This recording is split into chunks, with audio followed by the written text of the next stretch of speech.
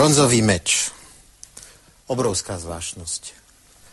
Mnohé múzeum by taký chcelo mať vo svojich zbierkach.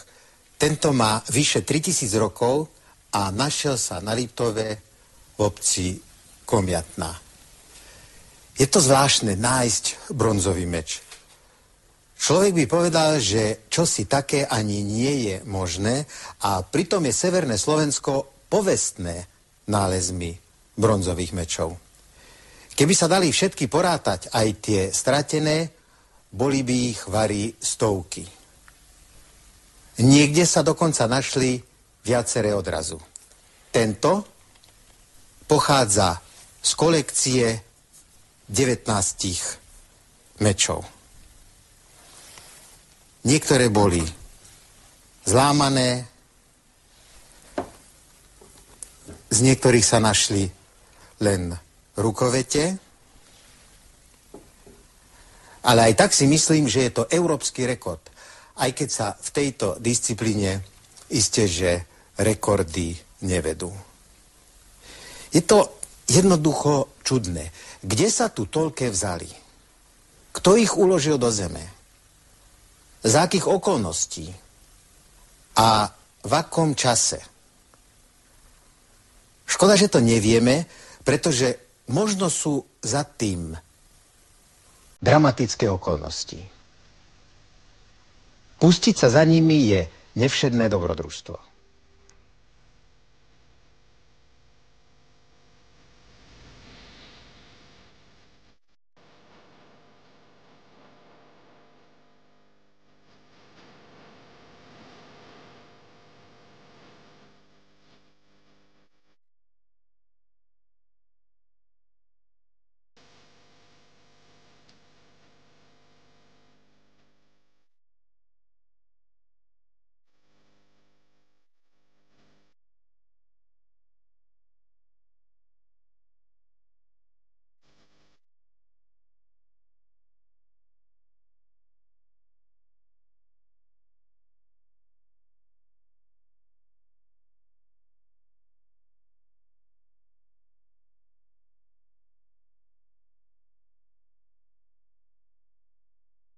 Rozhodne to všetko nie je náhoda.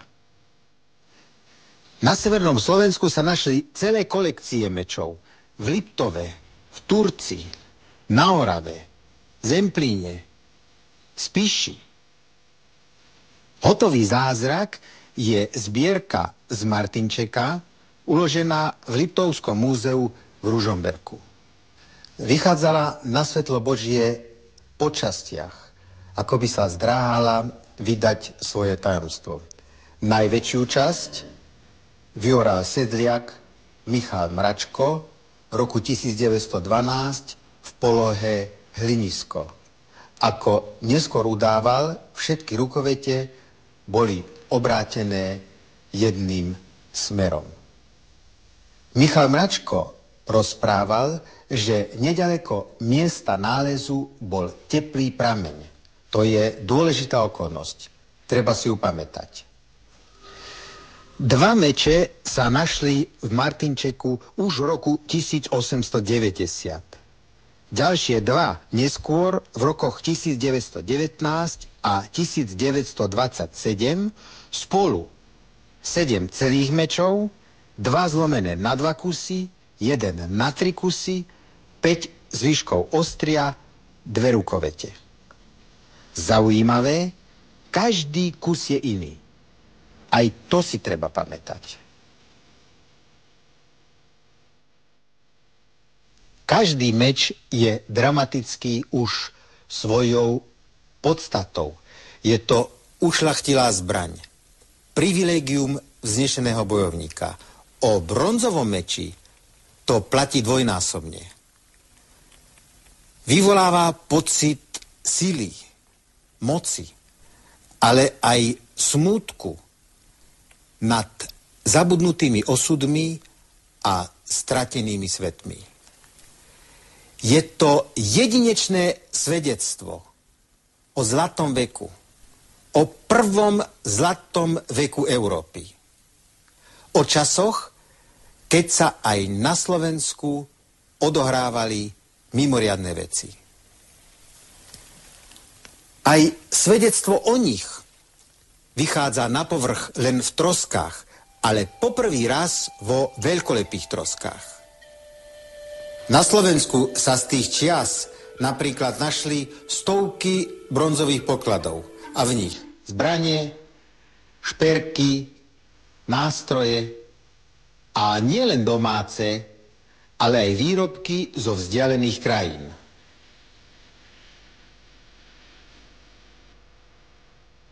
Také masívne svedectvo o pravekej minulosti ľudstvo ešte nedostalo. To preto sa hovorí o prvom zlatom veku Európy. Ale vieme o ňom žalostne málo. A zda preto, že väčšina pokladov sa našla náhodou. Pri objave nebol odborník, aby preskúmal terén a väčšinou to nemohol urobiť ani neskôr. Najviac pokladov sa pravdepodobne našlo v 19. storočí. Pri orbe, pri práci v lese, pri stavbe železníc. Krajina sa od tých čias niekde zmenila na nepoznanie. A už vôbec netušíme, ako vyzerala v čase, keď ľudia zakopávali do zeme svoj majetok, prečo to robili, a ako to robili. Situácia je o to tajomnejšia a záhadnejšia, že aj k objavom došlo často za tajomných a záhadných okolností. Tri meče v Buzici sa napríklad našli na okraji v lesa vo zvislej polohe, zakopané kolmo v zemi. To je skutočne záhada prečo ich tak uložili. Ak ich tak uložili, pretože k objavu došlo pred viac ako 100 rokmi. A čas ich odtedy rozvíjal po Európe. Jeden je v Košiciach, jeden sa polámal a údajne kde si stratil a tretí je v Anglicku. Jedinečná je aj kolekcia z Veľkej pri Poprade na Spiši, aj tá roztrúsená v múzeách Poprade, Budapešti a vo Viedni. Spolu 11 mečov objavených 11. oktobra roku 1883 a z nich 3 falošné. Možno poznáme aj meno falšovateľa Ignáca Eš z Viedne. Lenže ten už je dávno mŕtvý a nemôže sa brániť a už vôbec povedať, prečo ich vyrobil, akých vyrobil, alebo prečo ich nechal vyrobiť. Treba však povedať, že falšovanie bronzových mečov je dosť bežné a nemôžno sa čudovať, pretože ide o veľmi efektnú pamiatku.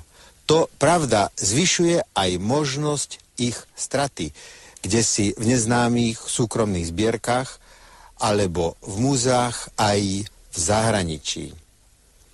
Straty prevedu, čo znižuje našu možnosť poznať ten dávny vek. To sa napokon občas stáva aj dnes. Poklad, objavený pri stavbe sídliska v Humenom, zachránil staviteľ zvara, no skôr ako to mohol urobiť, objavitelia kam si zahodili pre nich bezcenný kus bronzového plechu, prevedú možno s rozhodujúcou hodnotou. Aj tak zostali bronzové sekerky, masívne náramky a pre naše rozprávanie charakteristické dva bronzové meče.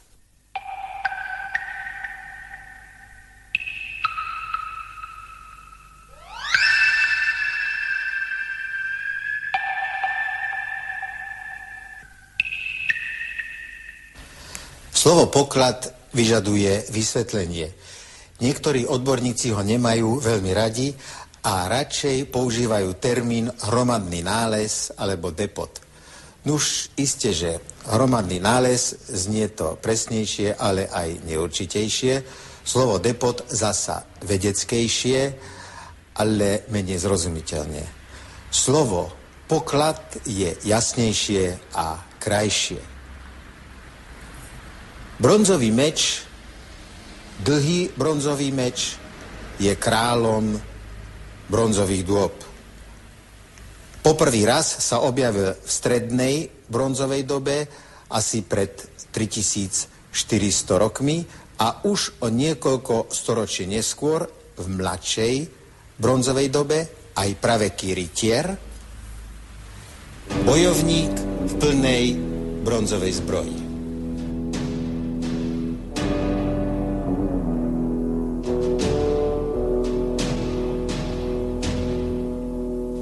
Pripomína bojovníka spod Troje. S takýmto mečom bojovali Achilles, Odysseus, Patroklos. A to nie je básnický obraz.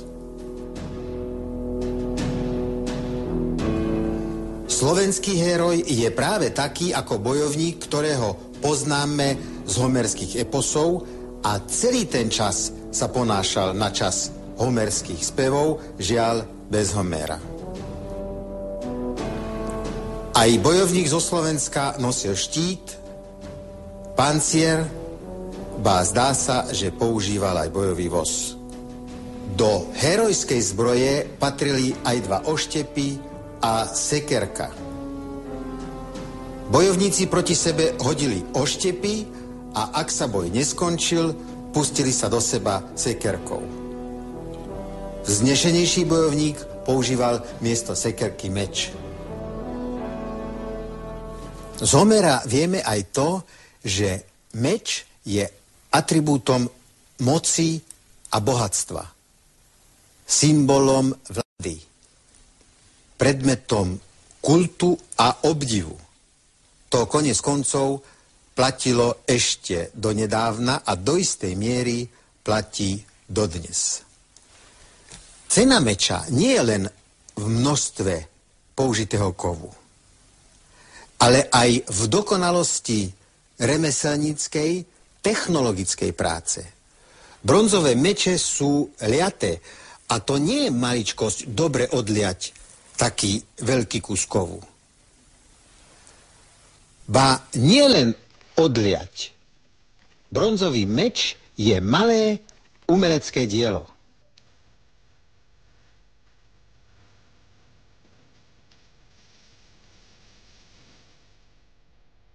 Teda Troja? Prečo nie? Už pred objavením meča na samom začiatku bronzovej doby vyrástli na Slovensku najstaršie troje, osady opevnené mohutným múrom a hlbokými priekopami, ktoré nezriedka zanikli po nepriateľskom útoku. Je však zaujímavé, že ani jeden zo známych mečov objavených na Severnom Slovensku sa nenašiel v hrobe. Kam by patril, keby bol majetkom bojovníka. Lebo v tom čase sa vznešeným ľuďom dávali do hrobu aj tie najcenejšie veci z ich majetku. To neukazuje na vojenský charakter spoločnosti. Naopak, bojovnícke hroby pod mohutnými mohylami sa našli na druhom konci Slovenska, na juhu. Ako je to možné? Prečo sa na severnom neválečnickom Slovensku našlo toľko mečov? Žili azda tu pod horami ktoré oplývali bohatstvom rúd zbrojári vtedajšej Európy. Nie je to vylúčené, ale len niekde. Rozhodne nie všade. Pripomeňme si Martinček. Každý kus je iný. Ani jeden z objavených depotov nebol čistý. V každom boli rozličné typy mečov. Pozrime si komiatnu. To nie je sklad, produkt zbrojárskej dielne. To je zbierka poznášaná z pol Európy.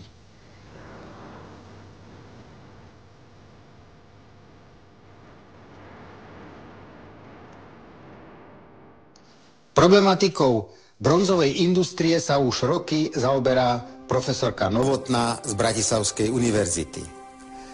Rengenové snímky mečov, ktoré si nechala vyhotoviť, poskytujú zaujímavý pohľad na technológiu výroby bronzových mečov. Zhruba by sa dalo povedať, že jestvujú dva typy mečov. S jazykovitou rukoveťou, na ktorú sa upevňovala rúčka z dreva, kosti, parohu alebo podobného materiálu a s plnou liatou rukoveťou, v ktorej je čepel zalisovaná a upevnená nitmi.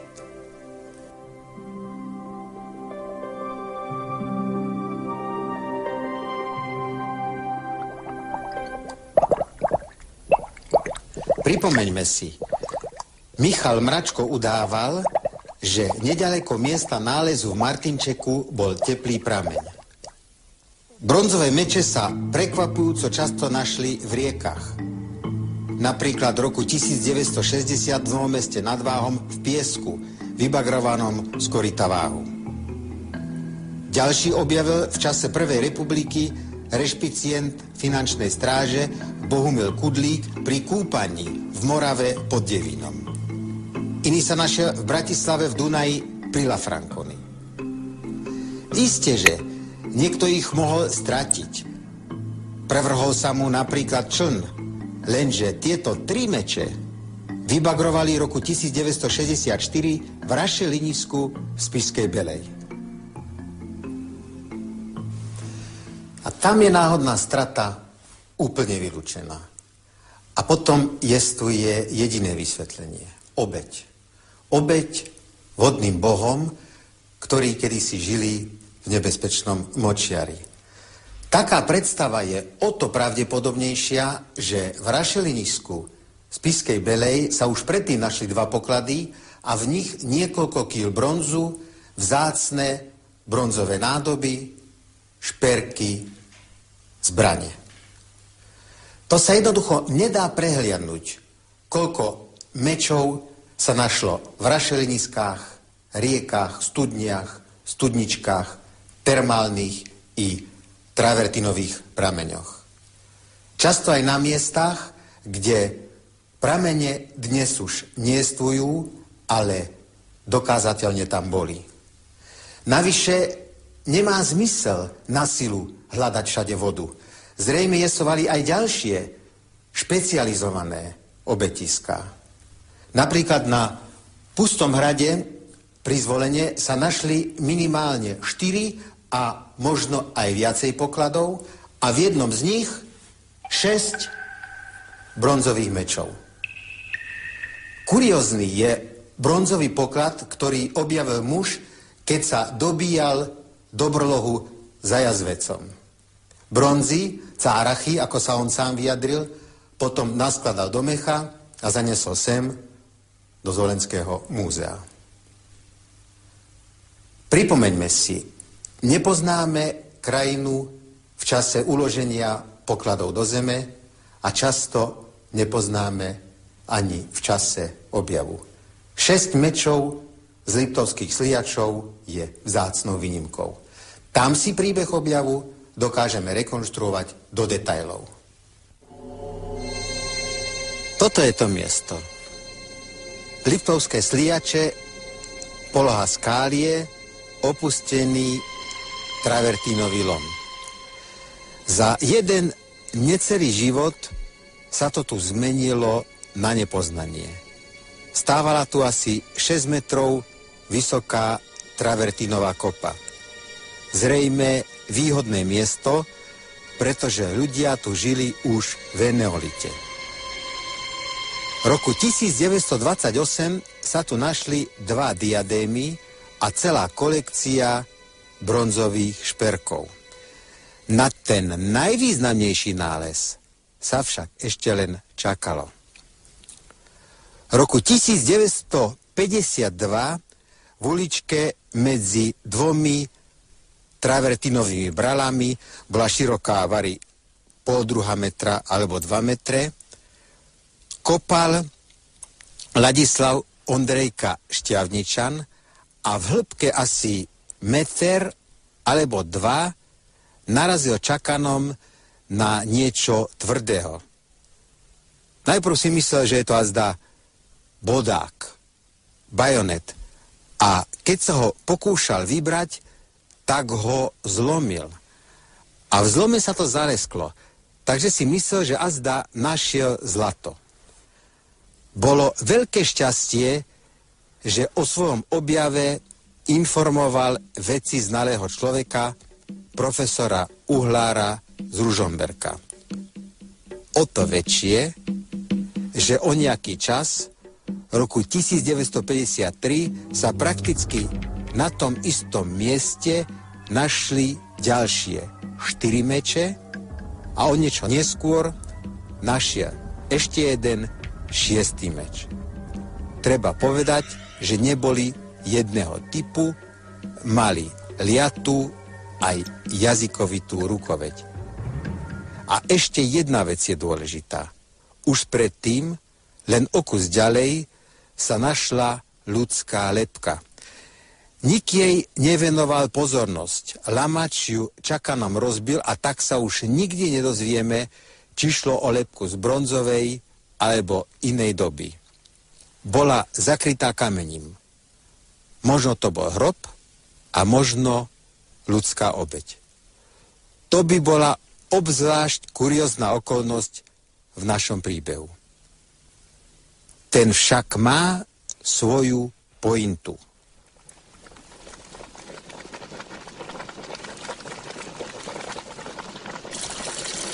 Teda opäť prameň.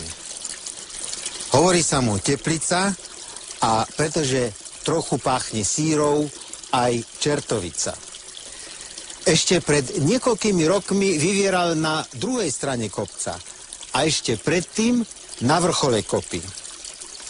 Ak za jednu alebo dve ľudské generácie dvakrát zmenil miesto, koľkokrát sa mohol presťahovať povedzme za tých 3000-3500 rokov. Nie je teda vylúčené, že meče z lipovských sliačov uložili priamo na jeho dne.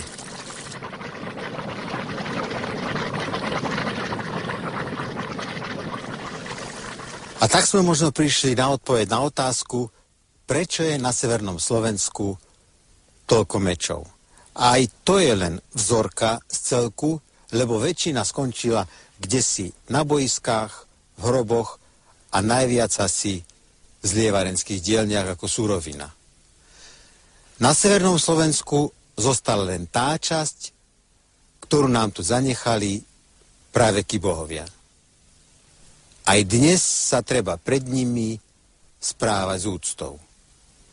Sú dokladom o myslení nášho predka, ktorý vytvoril prvý zlatý, aj keď len bronzový vek Európy.